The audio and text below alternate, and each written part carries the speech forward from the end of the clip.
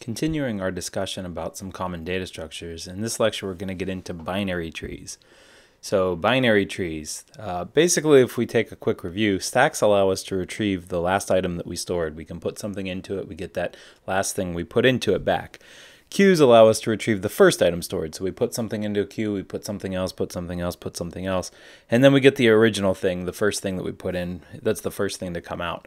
We often call stacks a last in, first out, and we often call queues a first in, first out queue. Uh, with linked lists and dynamic arrays, they allow us to put things in any particular place. We can still find them there. We put something in a place, we add something at the end, we, we put something in a place, it's where it is, we find it there. Uh, binary trees kind of break this model a little bit. They are going to allow us to store items in a sorted order so that they can easily be retrieved at a later time. So when we create a binary tree, the structure of it kind of looks like a linked list. You know, we start with the root, just like we started with the head in our linked list, uh, and there's nothing there. But when we add a value to it, say let's let's say we add 206, uh, we create a node and that node becomes our root. So our root references this new node and it contains this value 206. But the difference is that when we have a linked list, we have a reference to one other node. Uh, with a tree, we actually reference two, two different nodes. We, we have a left child node and we have a right child node. So right now we have a tree that has the root pointing to 206, which has no left child and has no right child. So if we add another value, we, we basically need to find an empty spot for it in our tree. Now there's a, a couple of rules. There's a structure to this. So uh, we look at each tree node that we're going to, to evaluate here, and we compare what we're adding to that tree node. So if it's smaller, we go to the left side, and if it's larger, we go to the right side. And we continue that process until we find an empty spot. So if we're going to add 87, we compare it to the root value here, 206. It's smaller, so we have to go to the left, so there's nothing there right now because our, our tree only has one value before we add 87. So we create that new node, and then we have 206 has a left child that is 87. If we had 294, it's larger than 206, so we go to the right. And since there's nothing there, we just added it that the root node's right child. So we're starting to fill in this tree, and we can add more values. If we add 132, we start at the root. It's smaller, so we go left. Then we compare it to 80, 87, and it's larger, so it becomes this node's right child. So because that free space is there, you know, we kind of have to keep this pattern going until we find a free space. And if we add a couple of more values here, 312, 343, 99, and 304, uh, well, first we start with 312, so that's larger than 206, and then it's larger than 294 at the right child of 206. So we find this free spot, so 312 becomes 294, uh, the right child for, for that node. Then if we add more here, if we look at 343, well, it's it's larger than 206, so we go to the right, and then uh, it's larger than 300, 294, and then it's larger than 312. So uh, it becomes the right child here. So we see that uh, down here at 343. Uh, and then if we do 99, it's it's lar- it's less than 206, so we go to the left, and uh, it's larger than 87, so we go to the right, and then it's less than 132, so it becomes a left child of 132. And if we look at 304, kind of the same thing. It's larger than 206. Uh, it's larger than 294. It's less than 312, so it becomes the left child here. It takes that spot. So you can see how we're kind of filling this in as we go. And if we add a bunch of other values, 214, 41, 50, 208, 144, 13, 208, and 266, you'll see they're going to fill in the rest of this tree. And now we've got this kind of organized order of our tree. Uh, you know, if we look at this, the tree, like every one of these nodes follows those rules and it all follows the same pattern. So I guess the question is now what? So so what? You know, so we've actually built this binary tree and we've added a bunch of data to it, uh, but what are we going to do with it? So let's say we want to find a value in it. Let's say we want to find the value 99. Now, in this example, you could kind of just look at this and you could say 99, but if we had, you know, 255 different nodes, it might take us a while to find that, you know, just visually. So, and a computer can't just find the thing visually, it's got to actually have the structure. So we start off at 206, and uh, then 99 is less than that, so we go to left, and then we go, we look compared to 87, and it's more than that, so we go right, and then it's less than 132, so we go left, And here we, we find it actually. So we've gone through, we've kind of navigated this tree. We've started at the root and moved downward.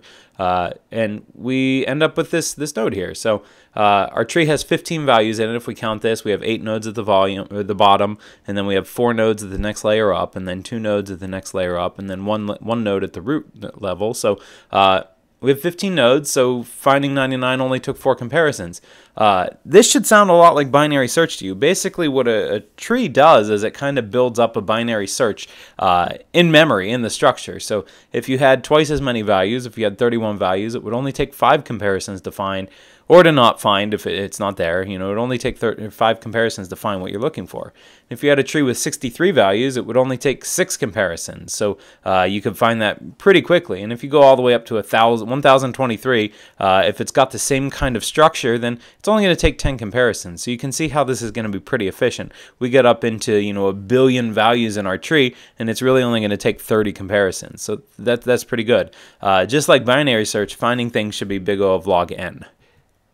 And let, let's think about how we're going to use this tree now. So a set is something we might use a binary tree to create. So a binary tree kind of explains how things happen inside of your structure. The set really defines what happens to the outside world. So a set is a data structure that allows us to test for membership. So we put a bunch of things into a set, and the set either contains it or it doesn't have it. Uh, sets typically don't have duplicates. You know, when we define a set, we want its values to be unique. We want it to not have duplicates, and it shouldn't necessarily have any specific order. So with a tree, we know that it kind of has this sorted order, but uh, when we deal with sets, we, are not really going to use that order for anything specific directly.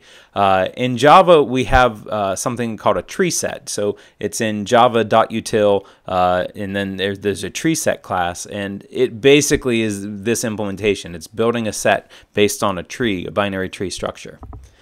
So a set's usually going to have these methods. We're going to be able to add to the set, you know, so we add a value. Um, if we add something that already exists there, we replace it.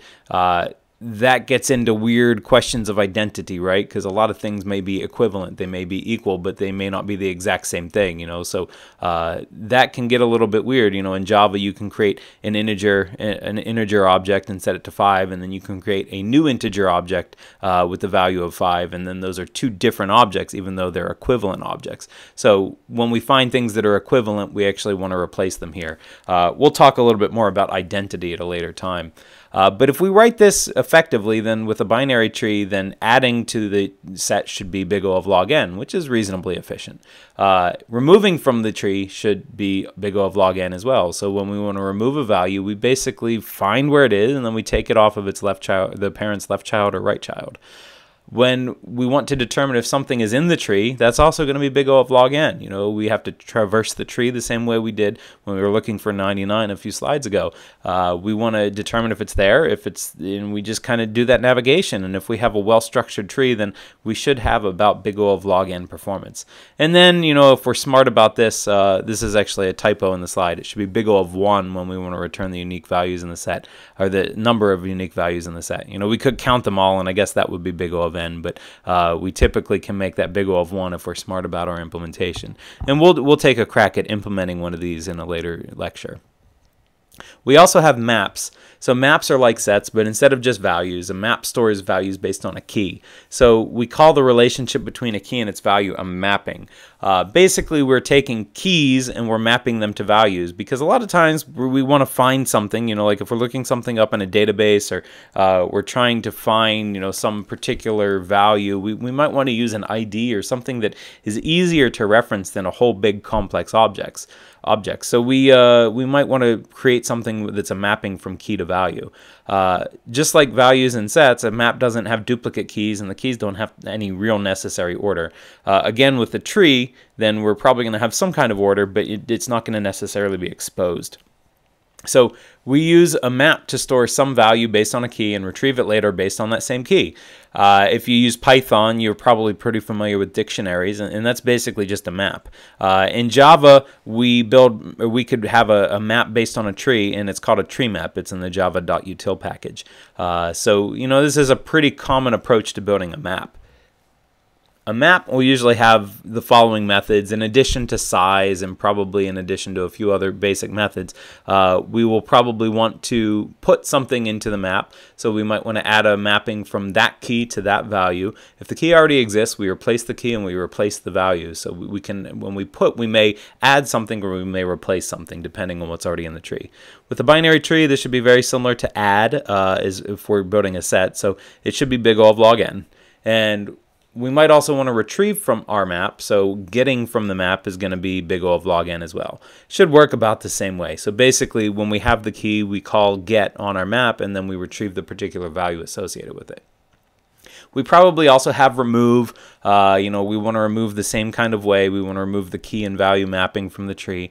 Uh, with a binary tree, that's going to be big O of log n. And size, and here this should be big O of 1. You know, we should probably just keep count of this and, and be able to retrieve that very quickly. Uh, the other method that you may see is contains key. Uh, so if we think about how we were building a set, we had that contains method. Uh, if you kind of think about this, uh, a, a map is really just like a set of keys, but it gives us this ability to like store something associated with that key. So that's that's kind of the big difference between key maps and sets.